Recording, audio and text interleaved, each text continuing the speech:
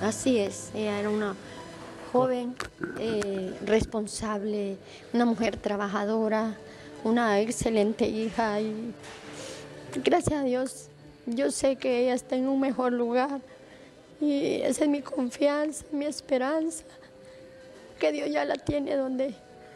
¿Cómo se dio cuenta usted? ¿Quién le avisó de la situación? Mire, nosotros estábamos aquí, ¿verdad? En este centro, atendiendo unas personas y eh, llamamos, pensamos que ella ya había entrado al trabajo, mi hija llamó al, la llamó a ella y le dijo que la llamaba y la llamaba y, no le contestaba. Me dice, ya, ya entró al trabajo, quizás me. Ah, bueno, le dije yo así. Después al rato llamó y le contestó un hombre al teléfono de mi hija. Entonces, cuando contestó el hombre, entonces dijimos, no está en el trabajo, porque le quitaban el, teléfono y lo dejan en el locker, ¿verdad? Y realmente ella, ya cuando contestó ese muchacho, dijimos, ahí estaba ella y, y no quiso decir, el muchacho a mi hija no le quiso decir, pero una muchacha que es coordinadora de este centro llamó y dijo que sí, que ella había fallecido. Fue un duro golpe. Claro que sí. Pero créame, me he sentido fortalecida por Dios y no he estado bien, porque miren, yo lo que les digo a las personas que la vida es una sombra. Arreglemos nuestras vidas con el Señor.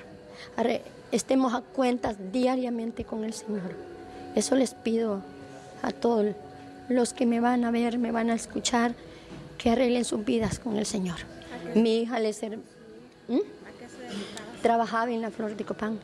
¿Y ayer que salió a trabajar, cómo fue? No, mira, ayer no la vi porque yo me vine a las 5 de la mañana de la casa a atender 40 personas que tenía que le estaba dando la comida yo, aquí en este centro. ¿De qué se ¿Eh? ¿De, de capacitación, se llama de maestros. Bien, sí. Eh, buenos días.